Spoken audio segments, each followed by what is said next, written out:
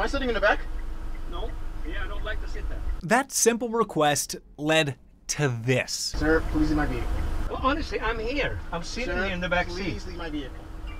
Is that because I'm white? No, sir. You- You're a f- oh man, this is good. Yes, because I have yes, yes. That I was initially shocked and I felt bad, but I almost wanted to laugh. The driver, Randy Clark, says he doesn't allow passengers in the front seat unless there are at least three people, all because of what happened to him in October of 2018. Because I have been sexually assaulted before by a passenger.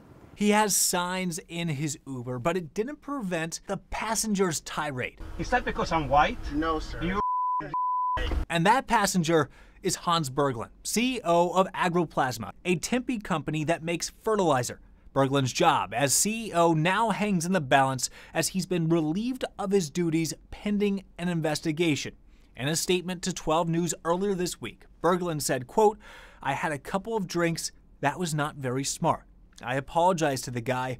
I shouldn't have said what I said. I initially accepted, however, I wish to rescind it. There was no sincerity associated with it.